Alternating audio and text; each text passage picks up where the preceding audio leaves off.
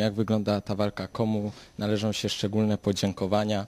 Jak pan ocenia, czy wszystko było wykonane w 100% dobrze? Mm, Fakt, 40 dni blisko bo, mm, walki o licencję. Ubolewam nad tym, że trwało to tak długo, aczkolwiek efekt jest e, osiągnięty. E, Komu należą się podziękowania? Myślę, że wszystkim tym, którzy się przyczynili do tego i którzy nas wspierali w tej walce. Mm, Ta, ta li- lista tych osób jest bardzo długa, ja nie chciałem tutaj nikogo pomienić, y, pominąć, natomiast e, pragnę podziękować wszystkim, a w szczególności wiadomo, no, e, zarządowi Śląskiego Związku Piłki Nożnej, który bardzo nam, e, bardzo nas wsparł i bardzo nam pomógł. Przedstawicielom zarządu Polskiego Związku Piłki Nożnej, którzy nas wspierali, też chciałbym serdecznie podziękować. Kancelarii Prawnej, która nas pomogła w tym ciężkim okresie, kibicom, zawodnikom, którzy wykazali się dużą cierpliwością i mimo wszystko nie, nie odeszli z klubu. E, Ludziom ze świata polityki, nauki, którzy nas wsparli. To wsparcie było bardzo duże i myślę, że bez tego wsparcia e, nam by się nie udało. Natomiast czy wszystko zostało wykonane w 100%? E, Powiem tak, że musimy zrobić wszystko e, i na pewno do, do, dołożymy wszelkich starań, żeby w przyszłym roku ta sytuacja się nie powtórzyła i, e, i bój tego typu, mam nadzieję, o licencję był to nasz ostatni. E, Jest to licencja warunkowa. PZPN będzie oceniał infrastrukturę stadionu. Trzeba będzie teraz y, lepiej przygotować się do kolejnego sezonu. Jak zmienić infrastrukturę, aby wszystko było zgodne z wymogami PZPN, aby w sezonie 2009-2010 Polonia znowu mogła zagrać w najwyższej klasie rozgrywkowej. Ubolewamy nad tym bardzo, że czwarty sezon z rzędu grając na szczeblu centralnym e, po raz trzeci najprawdopodobniej zaczniemy te, te rozgrywki na innym obiekcie. E, Wymagania licencyjne dotyczące infrastruktury mm, są znane mm, powszechnie i nami, i przedstawicielom e, zarządu, zarządzającym obiektem olimpijskiej. Mam nadzieję, że jak najszybciej ten, to zadaszenie tysiąca miejsc powstanie na, w Bytomiu na stadionie i mam nadzieję, że kibice już wkrótce będą mogli tam oglądać e, pierwszoligowe, w zasadzie ekstraklasowe pojedynki. Wszystko było zgodne z wymogami PZPN, aby w sezonie 2009-2010 Polonia znowu mogła zagrać w najwyższej klasie rozgrywkowej. Ubolewamy nad tym bardzo, że czwarty sezon z rzędu grając na szczeblu centralnym e, po raz trzeci najprawdopodobniej zaczniemy te, te rozgrywki na innym obiekcie. E, Wymagania licencyjne dotyczące infrastruktury mm, są znane mm, powszechnie i nami, i przedstawicielom e, zarządu, e, zarządzającym obiektem olimpijskiej.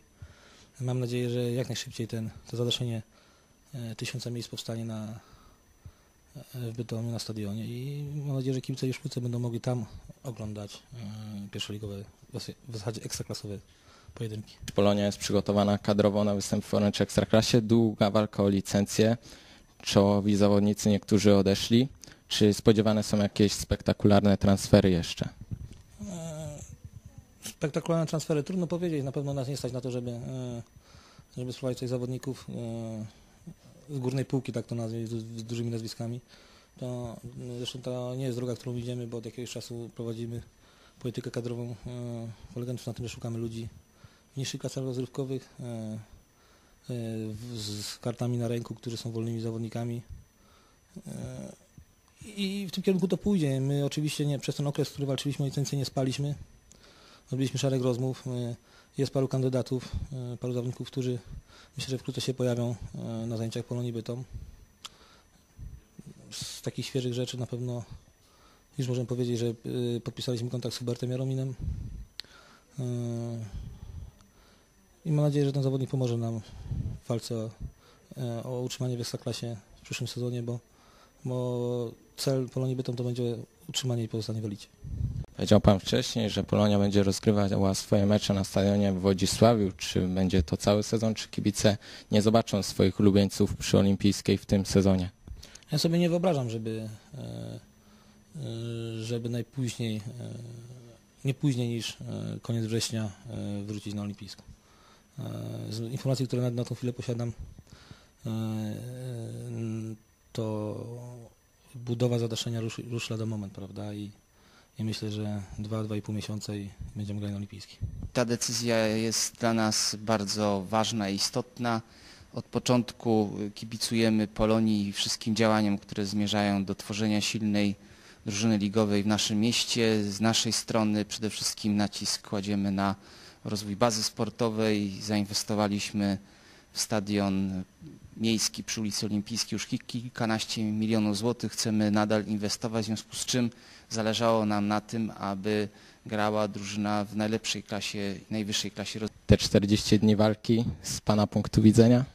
No to przede wszystkim e, nerwówka taka, e, mówiąc kolokwialnie, dlatego że no, tyle razy, ile się zmieniała sytuacja, pewne zasady, możliwości, e, to naprawdę kosztowało na pewno wiele nerwów, zwłaszcza zarząd Polonii, ale nas także. Staraliśmy się zrobić wszystko, co jest możliwe po to, żeby Polonia otrzymała licencję.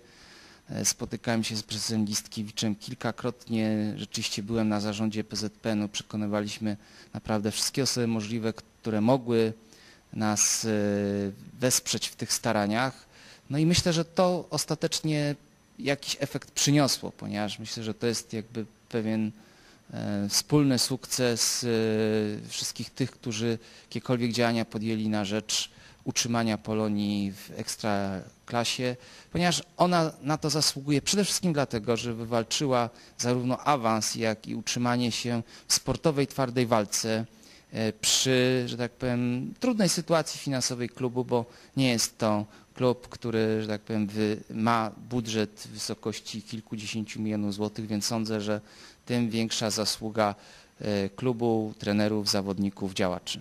Dla nas teraz kluczową inwestycją jest zadaszenie, e, który kończy jak gdyby na tym etapie realizację zaleceń licencyjnych PZPN-u. Mam nadzieję, że do września włącznie ta trybuna powstanie. Nie ukrywam, że są to problemy związane z jakby położeniem samego stadionu, y, tego jakby jak został kiedyś zbudowany.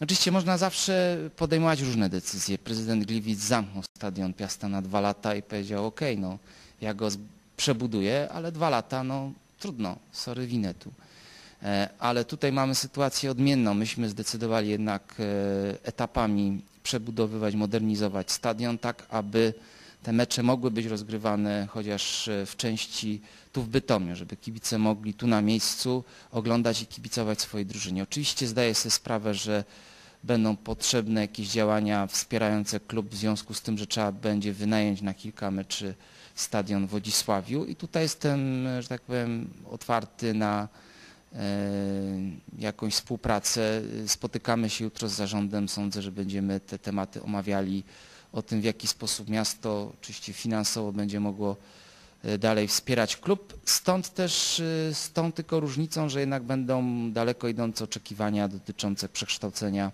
klubu w spółkę akcyjną i wtedy miasto będąc współudziałowcem ma zupełnie inne możliwości. Znaczy, e, tak, wszyscy odczuliśmy e, niesamowitą ulgę, bo praktycznie wywalczyliśmy sobie to na boisku i jakże mogło być inaczej, żebyśmy tej licencji nie dostali w przypadku tego zielonego dywanu, jak to się mówi, nie? Dokładnie. Jak pan ocenia sytuację kadrową tutaj bytomskiej Polonii? 40 dni walki o licencję, zawodnicy nie wiedzieli na czym stoją. Czy z taką y, kadrą jest szansa na utrzymanie w Orange Ekstraklasie? Oczywiście, jak najbardziej. E, to jest tylko kilku zawodników, którzy po prostu odeszli. E, podobnie jeszcze e, z paru ma, to jest nie wiadomo, jeśli chodzi o Rafała Grzyba, o Michała Zielińskiego.